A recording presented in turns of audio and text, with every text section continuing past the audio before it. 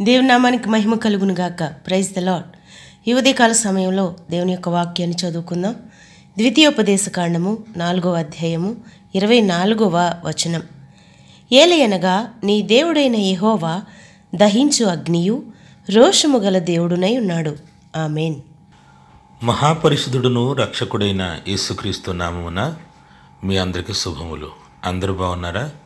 మీరు అందరూ బాగుండాలని దేవుని సన్నిధిలో ప్రతిదినం మీ కొరకు ప్రార్థన చేస్తున్నాం. ఈ ఉదయకాల సమయంలో మన తన్ని దేవుడు మాట్లాడుతున్న ఈ ప్రత్యేకమైన మాట. దేవుడు దహించు అగ్ని ఉన్నాడు. ఆయన రోషము కలిగిన దేవుడై ఉన్నాడు. చాలాసార్లు మన మనసులో ఏముంటుందంటే దేవుడు ప్రేమమయుడు కరుణామయుడు జాలి కలిగినవాడు గనుక మనం ఏం చేసినా పర్వాలేదు అని మన జీవితంలో నిర్లక్ష్య ధోరణితో మనం ముందుకెళ్ళిపోతుంటాం. కానీ దేవుడు ఈరోజు మనతోనే మాట్లాడుతున్నారు. నేను దహించు అగ్నిని ఉన్నాను అన్నాడు.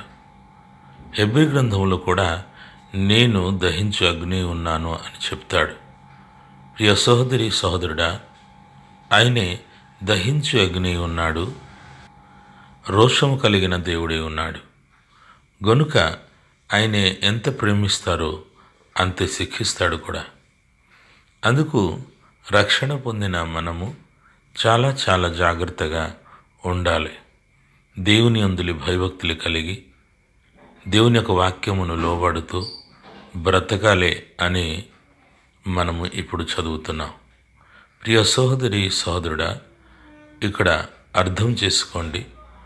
మరి దేవుడు రోసము కలిగిన వాడు గనుక ఆయనను ఆరాధించకుండా వేరు ఇతర దేవుళ్ళను ఆరాధిస్తే లేక విగ్రహములను ఆరాధించినట్లయితే పూజించినట్లయితే ఆయన సహించేవాడు కాదు అని ఈ అధ్యాయంలో రాయబడుతుంది.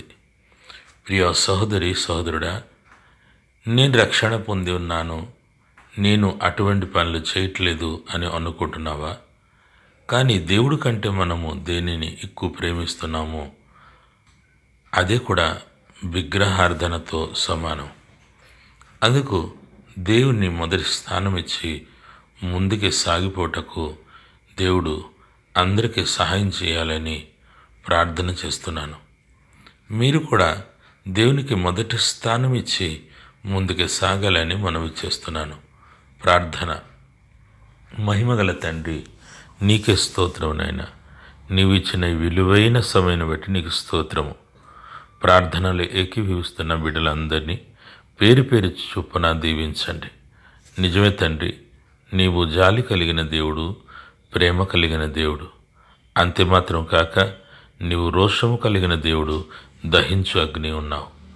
అందుకని మేము నీ సన్నిధిలో ఎటువంటి భయముతో మేము ఉండాలో ఎటువంటి భయముతో మేము నడుచుకోవాలి నీవు వాక్యం ద్వారా బయలుపరిచినందుకు స్తోత్రము. ఎల్లప్పుడూ నీ వైపుకు చూస్తూ మేము భయముతో ముందుకే సాగిపోయే జీవితం మాకు దయచేయమని.